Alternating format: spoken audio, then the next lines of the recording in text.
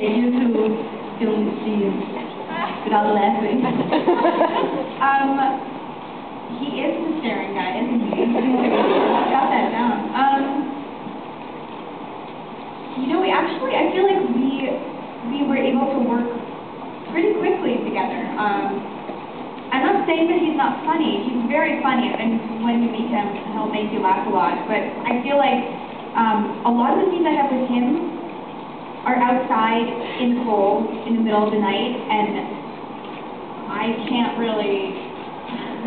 I mean, after a couple hours, I'm just like, I mean, I'm shaking and my lips are chattering. My lips are probably purple, and I we just we need. It's more of like a okay, we need to focus kind of thing. Um, but um, the, the staring doesn't freak me out. um, yeah. Thank you. Hi. Hi.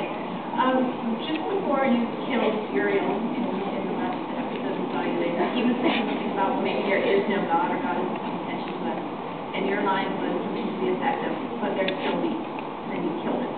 So do we find out a little bit more about Anna's backstory in terms of uh, was she there to dispatch uh, the angels that were disobedient? Is that part of that your Garrison's work previously, or was she just there to, um, again, I guess be a force of good or right, or uh, things that are out of line? Um, well, Uriel was the one that was killing all the angels, right?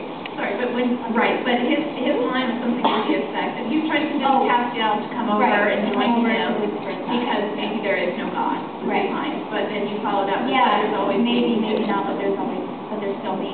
Yeah, um,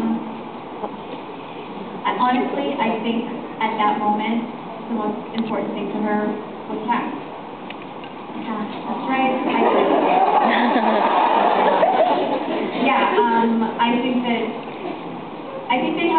have, a really strong friendship, and I think that, I think that she was there for him. And I don't think it really had much to do with, um, right and wrong or higher, yeah.